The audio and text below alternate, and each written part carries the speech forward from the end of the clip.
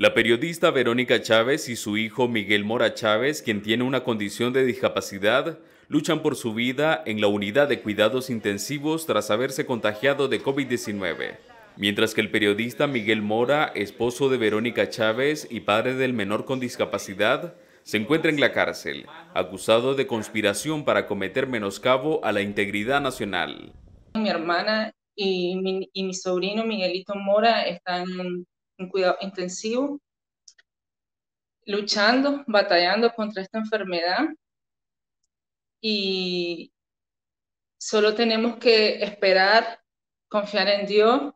Fabiola Chávez señala que el arresto de su cuñado Miguel Mora, director del confiscado Canal 100% Noticias, tiene una motivación política y por eso su familia pide al gobierno del presidente Daniel Ortega que enfrente el proceso en libertad.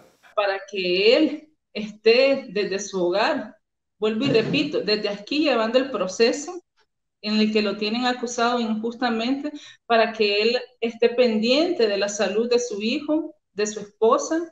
El defensor de derechos humanos Gonzalo Carrión explica que la ley contempla el cambio de medida para los reos con fines humanitarios. Es de derecho. Vos vas a ver que hay personas que están acusadas y que incluso las mantienen en arresto domiciliario humanamente eh, es lo menos que se, que se debería de hacer, permitir a Miguel, ¿verdad?, estar con sus seres queridos. Sin embargo, el Ministerio de Gobernación y el Poder Judicial aún no responden a las solicitudes de la familia Mora Chávez.